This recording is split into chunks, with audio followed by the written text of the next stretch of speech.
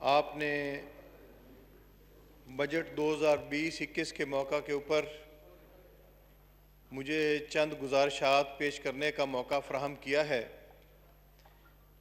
मैं जनाब deputy speaker साहब थोड़ा रवायती बातों से हट के कोशिश करूँगा कि बात करूँ, इधर से बात हो रही है या इधर से बात हो रही है।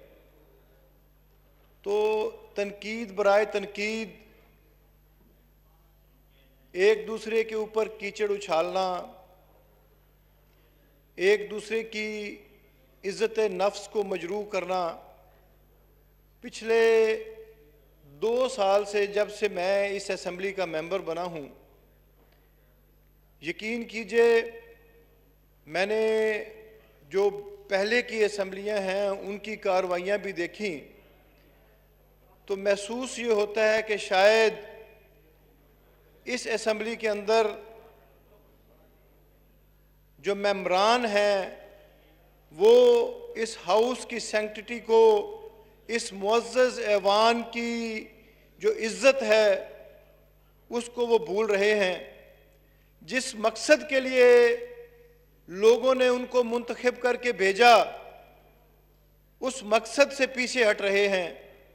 यहाँ हमने एक दूसरे के ऊपर तनकीद नहीं करनी। हमने यहाँ पे कानून साजी करनी है। हमने यहाँ पे पाकिस्तान के लोगों के दुखों और तकलीफ़ों का मदावा करना है। हमने ये नहीं कहना कि फ़लाँ ने ये कर दिया और फ़लाँ ने ये कर दिया। अगर इस बहस पे पढ़ेंगे तो ये कोई चंद दिनों की कहानी नहीं है। ये तिहत्तर साल का फसाना है। मेरे नहायत काबिल एहतराम जनाब डिप्टी स्पीकर साहब, आपके बिल्कुल ऊपर इस मुल्क के बनाने वाले हमारे कायद जिन्होंने इस मुल्क को आज़ादी दिलाई कायद आज़म मोहम्मद अली जनाह, उनकी एक स्पीच जो आपकी असम्बली की वेबसाइट के ऊपर हमेशा से मैं देखता आया हूँ तो चंद दिन पहले उस स्पीच को पढ़ने का मौका मिला तो मैं चंद इकतबासात उस तकरीर में से आपके सामने करना चाहता हूँ। कायद आज़म ने 11 अगस्त उन्नीस सौ सैंतालीस को पहली आइन साज असम्बली से खिताब करते हुए फरमाया इस असेंबली ने दो बड़े काम करने हैं। दो कामों की तरफ़ उन्होंने निशानदही की। उन्होंने कहा, पहला काम, बड़ा मुश्किल, मेहनत तलब, तकलीफ़ दे और जिम्मेदाराना होगा, और वो होगा पाकिस्तान का आइन बनाना।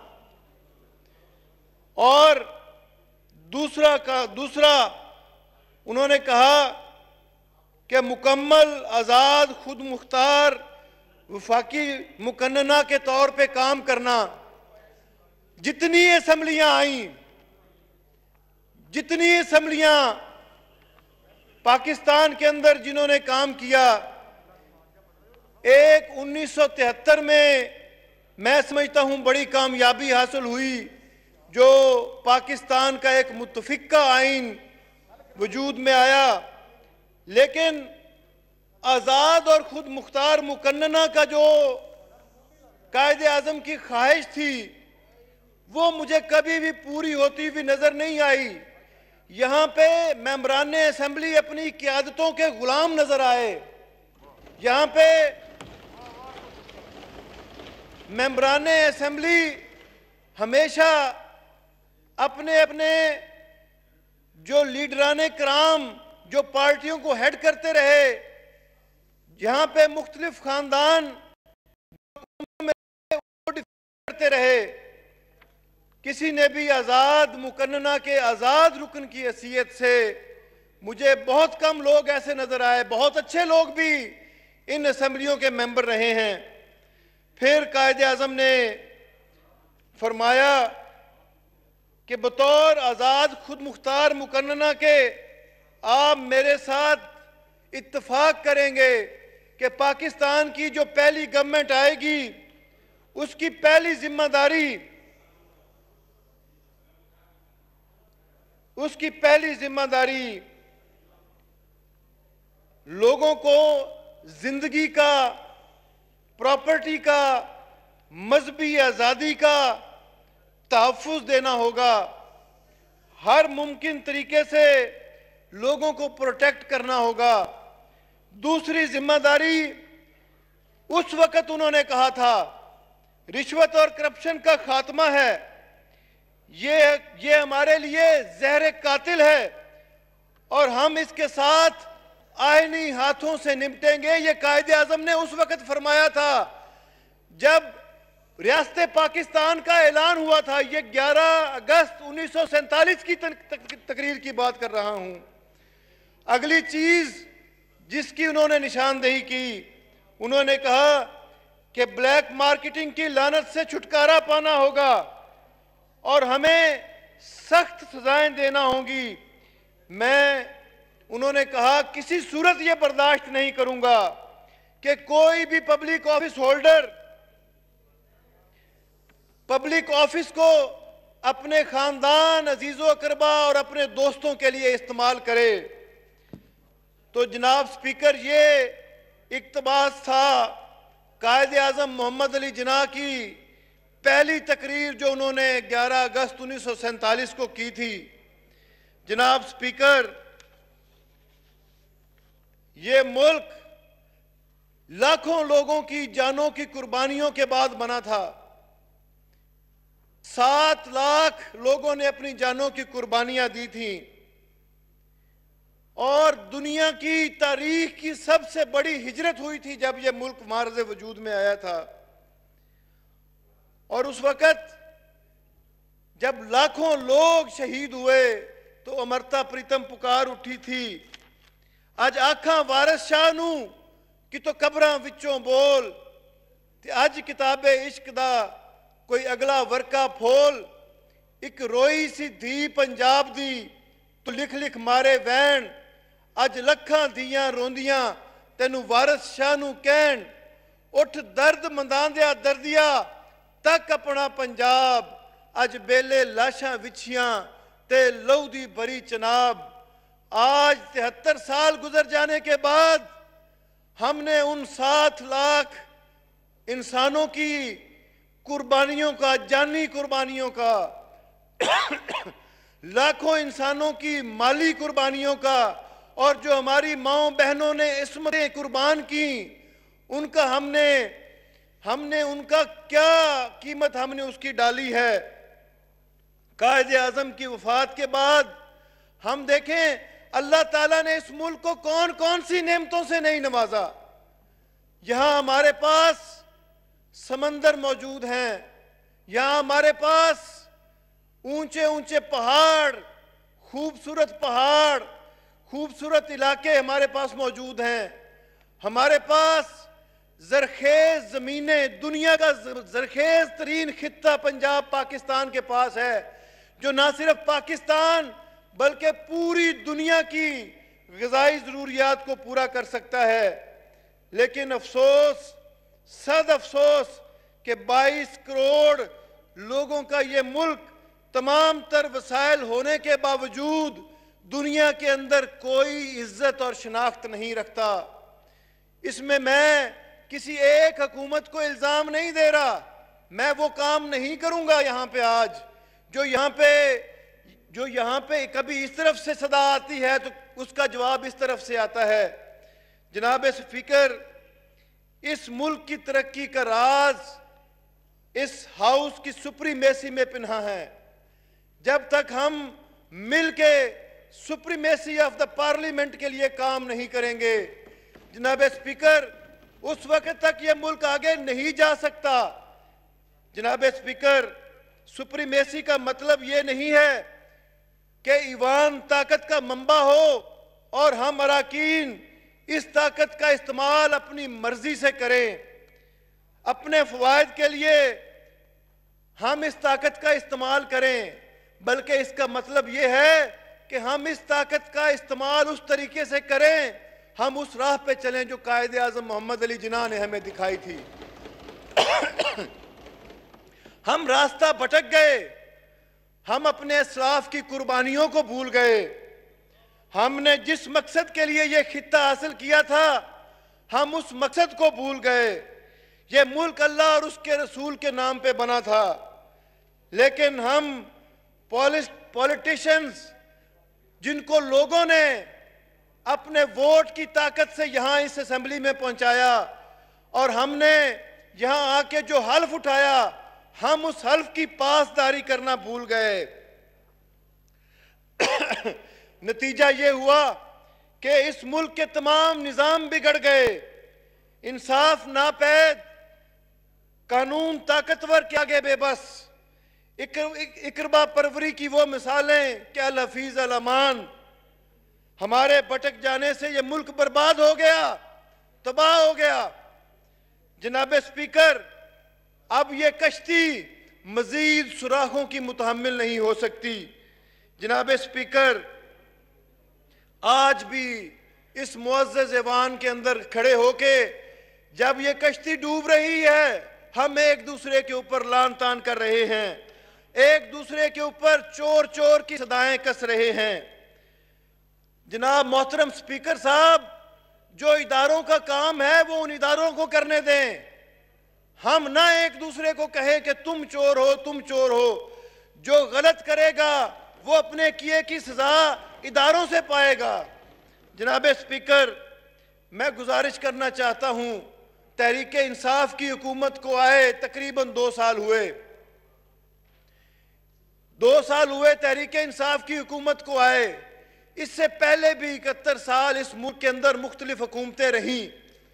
जनाब स्पीकर, तहरीक इंसाफ की हुकूमत के आने से पहले भी कोई दूध और शहद की नहरें नहीं बह रही थी।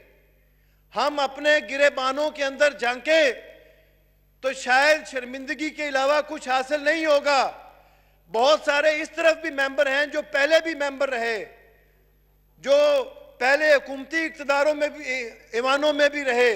मैं सब की बात कर रहा हूँ, मैं किसी एक शख्स की, किसी एक पार्टी की मैं बात नहीं कर रहा, मैं ओवरऑल बात कर रहा हूँ कि मिन हैसल कौम अगर हम अपने गिरेबानों में झांकें तो सिवाय शर्मिंदगी के कुछ हासिल नहीं होगा। लोग इस असेंबली के मेंबर बने और फिर देखते ही देखते उनके असासे ज़मीन से आसमान तक पहुँच गए। ये ऐवान, ये असेंबली का मेंबर होना एक कारोबार बन गया। लोगों ने इसको एक कारोबार की तरह ट्रीट किया। जब ये कारोबार बना तो फिर जो इस रियासत के दूसरे स्तून थे, वो भी अपना हिस्सा वसूल करने लगे। और फिर इस मुल्क की तबाही में किसी किस्म की कसर नहीं छोड़ी गई। जनाब स्पीकर, मैं एक दफ़ा सूबाई असम्बली का मेंबर रहा हूँ 2002 से 2007 तक। 25 साल की उम्र में मेंबर बना। जोश और जज्बा था कि इस मुल्क के लिए काम करना है। अपोजिशन में था, पीपल्स पार्टी की तरफ़ से मेंबर मुंतखब हुआ था। तो उस वक्त एक डिक्टेटर के खिलाफ लड़ाई लड़ रहे थे। तो जहन में ये था कि इन ताला लोगों को उनके हकूक दिलाने हैं। लोगों को के हकूक के लिए जो भी कुर्बानी देनी पड़ी, वो कुर्बानी देनी है। यकीन करें, उन पाँच सालों के दौरान जेलें भी काटी मारें भी खाई, असम्बलियों के दरवाज़ों से गिरफ़्तार भी होते रहे। लेकिन जज्बा जवान था। लेकिन फिर जब 2008 में हुकूमत आई और फिर जिस तरीके से हुकूमत चली तो सियासत से ईमान उठ गया। सियासत से दिल बागी हो गया। दो साल तक मैंने सियासत नहीं की। फिर इमरान खान की सोच ने, इमरान खान के विजन ने अपनी तरफ़ खींचा। फिर उनसे 2010 में मुलाकातें हुई। 2011 के अवायल में तहरीक इंसाफ को ज्वाइन किया। जनाब स्पीकर, आठ नौ साल इमरान खान साहब के साथ एक पॉलिटिकल जद्दोजहद की। तो मतमा नज़र क्या था? मैं अल्लाह को गवाह बना के कहता हूँ कि मेरी सियासत कभी भी किसी लालच की मोहताज नहीं रही। मैंने इस मुल्क के लोगों के लिए, इस कौम के लिए और इस मुल्क के लिए हमेशा से कोशिश की है। दो, जो आठ, नौ साल पॉलिटिकल स्ट्रगल मैंने इमरान खान की क्यादत में की, अब जब मैं मुड़ के देखता हूँ तो शायद उतनी मेहनत मैं दोबारा से ना कर पाऊँ। जिस जज्बे और जिस हिम्मत के साथ पाकिस्तान तहरीक इंसाफ के वो दोस्त जो आज असम्बलियों में नहीं मौजूद भी नहीं हैं, जिनको कोई लालच भी नहीं था, जिन्होंने टिकटें भी नहीं ली, जो असम्बलियों के मेंबर भी नहीं बने, लेकिन वो एक नज़रिए और एक फलसफे के साथ खड़े हुए और आज पाकिस्तान में तहरीक इंसाफ की हुकूमत लेके आए, मैं उनको खराज तहसीन पेश करता हूँ और उनको सल्यूट पेश करता हूँ। दो मिनट में बात मुख्तसर करें आप। जनाब स्पीकर मैं आपसे गुजारिश करना चाहता हूँ कि मैं बैक बेंचर हूँ। बहुत अरसे बाद मुझे बात करने का मौका मिला है। Chairman standing committee on finance हूँ। मेहरबानी आपकी मुझे कम अज़ कम दस मिनट के लिए आप और बर्दाश्त कर लें जहाँ पे आपने बहुत लोगों बहुत को बहुत लंबा लंबा मौका दिया है। मैं जनाब स्पीकर आपसे गुजारिश करना चाहता हूँ मैं सिद्ध के दिल से इस बात के ऊपर यकीन रखता हूँ, ईमान रखता हूँ कि इमरान खान, वज़ीर अजम पाकिस्तान एक नेक नीयत और ईमानदार शख्स हैं और वो हर लम्हा, हर लहजा पाकिस्तान के गरीब लोगों, पाकिस्तान के मेहनत कश तबकात के लिए सोचते हैं। और मैं ये समझता हूँ कि वही क्यादत है जो इस मुल्क को इस वक्त जिन तूफानों का हम सामना कर रहे हैं, इससे निकाल सकते हैं। हम सबको, हम सब लोगों को जो पॉलिटिकल मॉरल वैल्यूज़ हैं, उनके ऊपर स्टैंड लेना होगा, उनके ऊपर खड़ा होना होगा। मेरे कायद के अंदर ये खूबी है कि जहाँ पे कोई तनकीद का पहलू आता है तो हम उनके ऊपर तनकीद करते हैं तो वो हमारी तनकीद को सुनते हैं। वो बार, हमारी बात को मानते हैं, वो समझते हैं। जहाँ पे अगर वो कहीं पे गलत हो और अगर हम उनको उस बात की निशानदेही करते हैं तो वो खुले दिल के साथ उस बात को तस्लीम करते हैं, जनाब स्पीकर। दुनिया में जिन ममालिक ने भी तरक्की की, वहाँ पे सबसे पहले पॉलिटिशियंस ने हाई मॉरल वैल्यूज़ का मुजाहरा करके दिखाया। और पहले अपने आप को मनवाया और फिर उसके बाद बाकी इदारे और बाकी लोग उस राह के ऊपर चले। मैं आज आपकी वसात से, वज़ीर आज़म पाकिस्तान से गुजारिश करता हूँ कि वो, ये जो लोग मैंडेट लेके, लोगों का वोट लेके यहाँ इन असम्बलियों के अंदर आए हैं, मेरे दोस्त, जो सियासी क्यादत यहाँ पे मौजूद है इनको ज़्यादा से ज़्यादा जिम्मेदारियाँ दें। बेशक एहतसाब के कवानीन मजीद सख्त कर दे। जो शख्स इस ऐवान में कोई ओहदा लेके अगर उस ओहदे का गलत इस्तेमाल करता है तो उसको डी चौक में लटकाया जाना चाहिए, ताकि लोगों को सबक हासिल हो, ताकि आने वाली नस्लें याद रखें कि इस मुल्क के अंदर हमने करप्शन नहीं करनी इस मुल्क के वसायल को हमने नहीं लूटना। जनाब स्पीकर, हमने जो तमाम पार्टियों ने मिलके, मैं अपोजिशन से भी गुजारिश करता हूँ कि नैब के कवानीन, इस वक्त तक अगर हम देखें तो जो रिज़ल्ट आ रहा है, जो जितने भी केसेस नैब के अंदर गए, उसका रिज़ल्ट जो सामने आ रहा है, वो उस तरह से नहीं है जैसे होना चाहिए। कन्विक्शन रेट उस तरह से नहीं है तो आपस में बैठ के ऐसे कवानीन बनाएँ एक तो जल्द इंसाफ हो और दूसरा लोगों को सजाएँ मिलें जिन्होंने इस मुल्क को, के वसाइल को लूटा है। वज़ीर आज़म पाकिस्तान ने एहतसाब का अमल अपनी पार्टी के अंदर से शुरू किया है। उन्होंने जो कमीशंस बनाए, उनकी रिपोर्टों को उन्होंने लोगों के सामने रखा फिर इदारों को कहा कि आप इसके ऊपर कार्रवाई करें और जो लोग भी इसके जिम्मेदार हैं, उनको, उनके अंजाम तक पहुँचाए। जनाब स्पीकर, निज़ाम इंसाफ में इसलाहात की शदीद ज़रूरत है। उसके लिए हम सबको मिलके अपोजिशन को और हुकूमत को मिलके काम करना है। सिविल सर्विसेज़ में, जनाब स्पीकर असलाहत की अशद ज़रूरत है। पाइड की मैं एक सर्वे उनका जो है वो मैं पढ़ रहा था, वो मैं यहाँ पे आपके सामने पेश करना चाहता हूँ। A survey conducted by the Pakistan institute of development economics shows that 93 percent of respondents with in the services 93 percent of respondents with in the services share the believe that the performance of the civil services has deteriorated over the years and 38% believe the extent of deterioration is extreme. ये sir ये सब लोगों के लिए लम्हा फिक्रिया है कि जिस जिसके ऊपर ये निज़ाम खड़ा है जिन सतूनों के ऊपर ये निज़ाम खड़ा है जिसके तहत हम ये अपने बजट खर्च कर रहे हैं जिसके तहत हम ये मुल्क चला रहे हैं, जो हमारा इम्प्लीमेंटिंग ऑर्गन है, वो ये कह रहा है कि तिरानवे फ़ीसद उसके लोग ये कह रहे हैं कि ये निज़ाम सही तरीके से नहीं चल रहा। हमें इसमें इसलाहत की ज़रूरत है।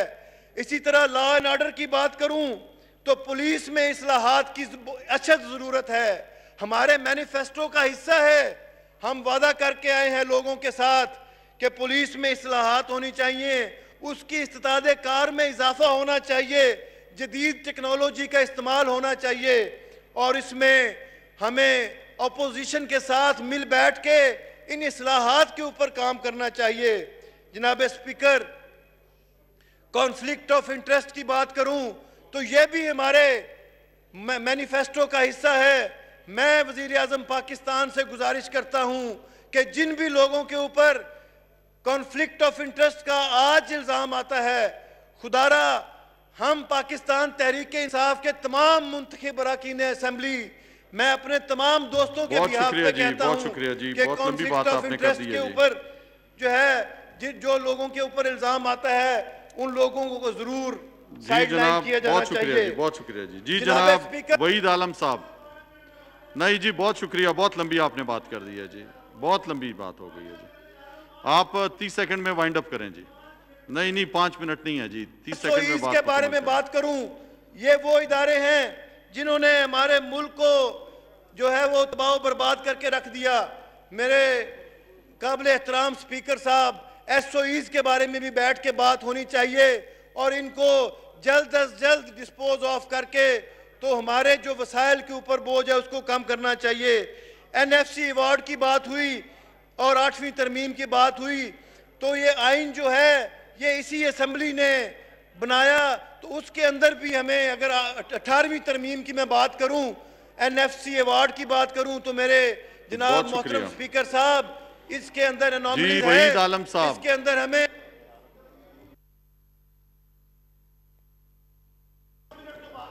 बहुत लंबी हो गई है जी। मैंने और लोगों ने भी और लोगों को भी मौका देना है हमने सबको मौका देना है। आपको काफ़ी लंबा टाइम दिया।